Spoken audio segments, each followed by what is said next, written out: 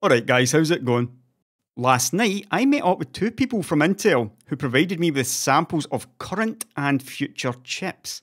Among them was the 10900K, which we know is still 14 nanometers, but the selection also included, to my unbelievable surprise, two 10 nanometer console APUs, and wait for this, a 7 nanometer desktop CPU. Now, I woke up around three hours ago as I write this very paragraph and I thought to myself, what a crazy dream that was. And I'm not kidding, I actually did truly dream that last night that that had all happened. The harsh reality of waking life is somewhat different though. That 14nm 10900K exists, of course, but Intel's 10nm is in such poor shape in both characteristics and yield that it would never make a suitable manufacturing process for a console APU. But what about the last one? A 7nm desktop CPU from Intel. What an enticing thought that is. And for the past year and a bit now, we've been hearing from Intel's Chief Engineering Officer and Group President of the TSCG, Dr. Venkata, better known as Murthy Renduchintala, that Intel was very pleased with their progress on 7nm, which according to him was still on track. And Murthy made some interesting comments about both Intel's extremely troubled 10nm process and the new 7nm process at Nasdaq's 39th Investor Conference. 7nm for us is a separate team and a largely separate effort. And we are quite pleased with our progress on 7. In fact, very pleased with our progress on 7. And I think that we have taken a lot of lesson out of the 10nm experience as we defined that and defined a different optimization point between transistor density, power and performance, and schedule predictability. And multiple times over the past 18 months, we basically heard the same reason why Intel failed at 10 nanometers. According to Renduchintala, the problems with 10 nanometers are directly related to the fact that Intel chose not to introduce EUV at 10 nanometers, but also that they went for a very aggressive 2.7x scaling factor. Now, a more typical scaling factor would be somewhere between 2.0 and 2.4. That's what the likes of TSMC would be doing, it was what Intel was doing previously. But for some reason, even though we know that 14 nanometers had given Intel problems, like they'd basically never had before, they still went and decided that for 10 nanometers they would get even more aggressive. That strategy clearly failed, spectacularly, and just a few months ago, Intel's CFO, George Davis, was stating flatly that 10 nanometer will be less productive than 22 nanometers and also 14. But they're still excited about the improvements that they're seeing. Before ending that, they expect to start the 7 nanometer period with a much better profile of performance over 10 nanometers, starting at the end of 2021. So, in a nutshell, Intel were just too aggressive on their 10 nanometer attempt, but a new team will fix it at 7 nanometers and they won't be quite as aggressive this time. There's never any indication of any long term troubles or any question even that the rot had firmly set in at the manufacturing group.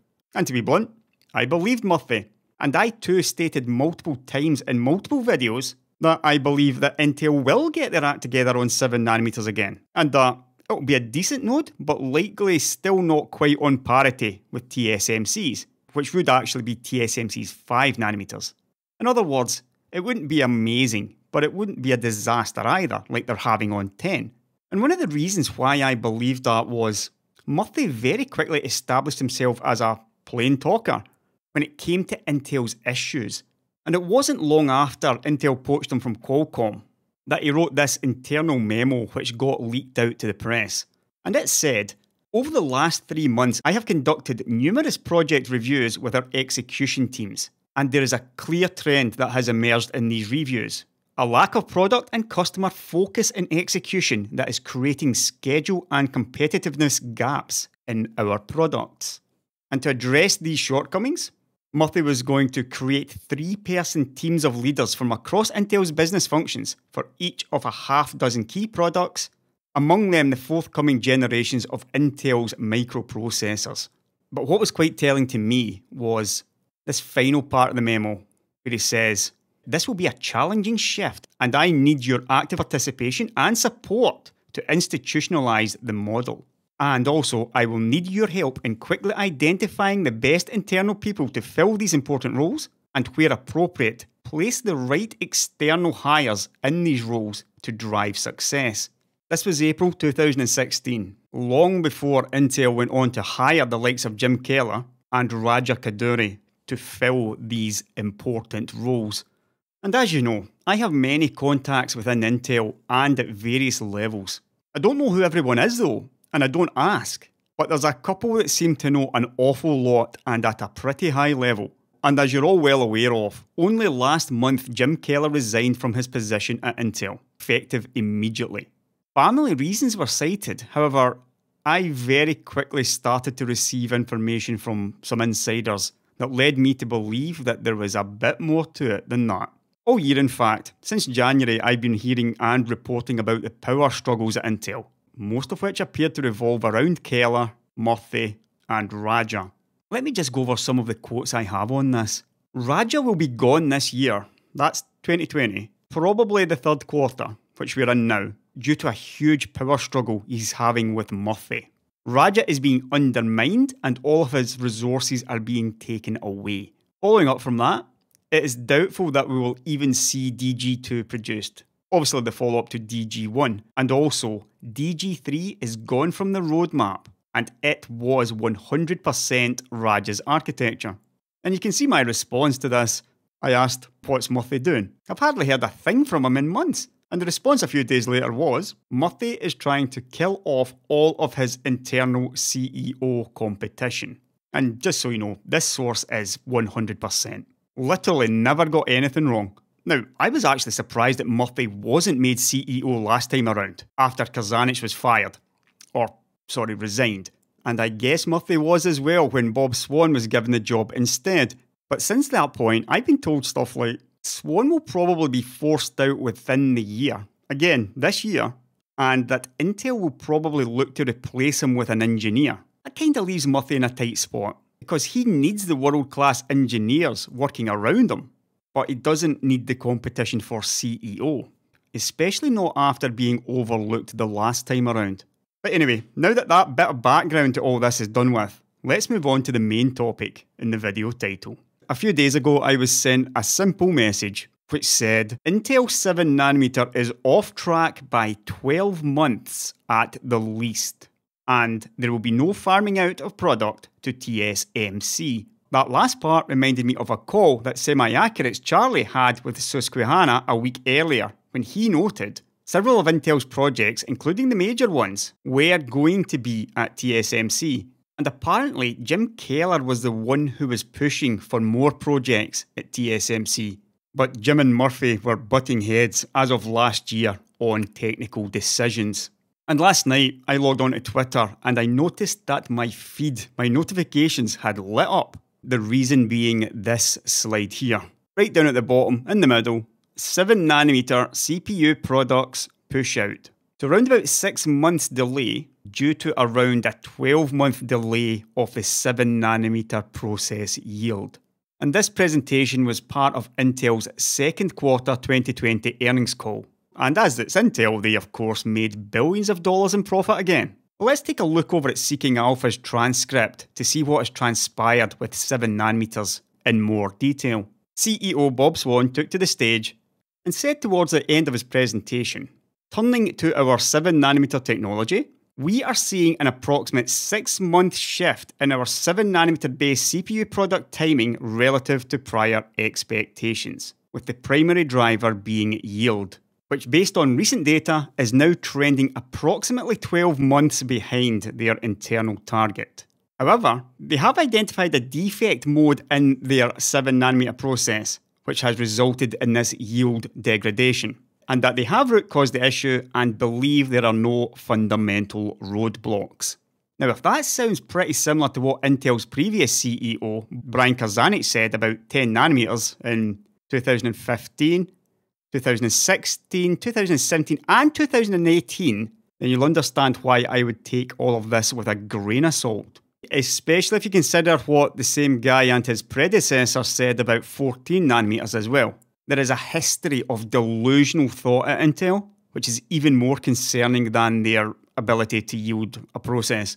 But moving on, and Bob now says that Intel expects to see initial production shipments of their first Intel based 7nm product, which is a client CPU, in late 2022 or early 2023. It says client CPU. In Intel speak, this generally means laptop CPU. So imagine something like Lakefield again, or some ultra mobile thing. Almost certainly this over a larger desktop CPU further backed up by the following quote, where Bob says that in addition, they expect to see initial production shipments of their first Intel based 7nm data center CPU design in the first half of 2023. 2023. Now, in my last video, Zen 3 is an integer machine. I noted that Intel's upcoming 10nm Ice Lake server parts look to be extremely mediocre with some fairly abysmal core counts and clock speeds at a pretty astronomical looking 250 watts. And this was the good part, believe it or not. This second part was really, really poor.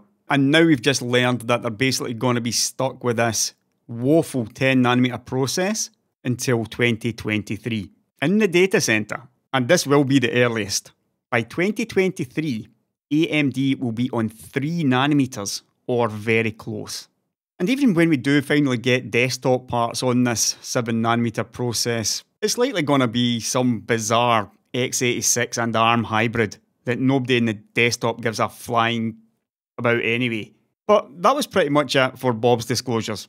And well, you can probably imagine how the question and answer session looked. First question 7nm delay. Next one 7nm delay. Sticking on the same topic of 7 nanometers, and this analyst will also be sticking on the same theme of 7 nanometers. And no huge surprise when Stacy decided to stick to the same topic of 7 nanometer delay. And as Bob did his best with a bad job basically, at the end of it he was forced to conclude that he is not happy with their 7 nanometer process performance.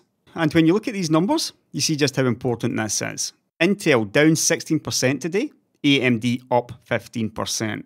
This is all based in this one part of news, the 7nm process.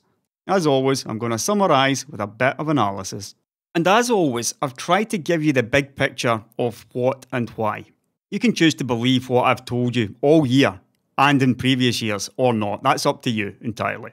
And if you're an Intel fanboy who chooses not to believe this, then what is it that makes you continue to believe that this company is on anything other than the road to absolute disaster?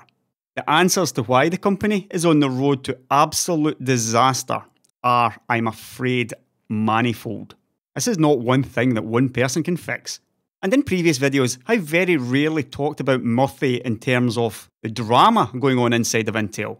But I have at least three sources who all point the finger squarely at Murthy being on a power trip. Once again, just let me say that personally, I have got absolutely nothing against Murthy or anybody else in this video, in fact. I am simply reporting to you what I've been told, as it is my duty to do so. I'm also aware that in this Something Wrong at Intel Graphics video, that it was Raja who was mostly getting the stick for his power trip.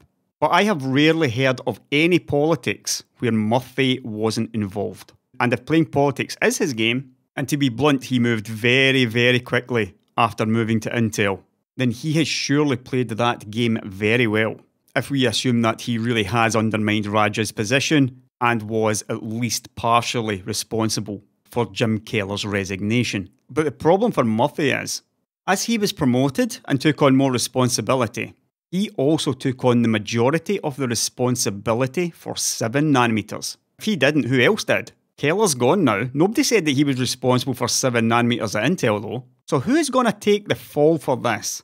Well, Murthy he is a guy who, for nearly two years, has been telling us all that 7 nanometers was fine. It was a new team, not the old broken team, and it was a team which he almost certainly helped to create. But that team has clearly failed, just like the previous teams have at the new node. And even with this supposedly easier 2x scaling instead of the 2.7x, Intel has still failed to deliver at 7 nanometers. And now Bob Swan, a guy who, to be fair, has impressed me with his honesty is now saying publicly that he is not pleased with Intel's 7 nanometer process performance. This might well be him starting his fight back. And so, the power games at Intel look set to continue for some time yet. And as long as they do, we can expect more delays, more failed products, and more disastrous news. And with that, I'll leave you with the final quote from the same person who told me that all this was going to kick off a couple of days ago. The very next day, they followed up with this 7 is looking worse than 10. I'll catch you later, guys.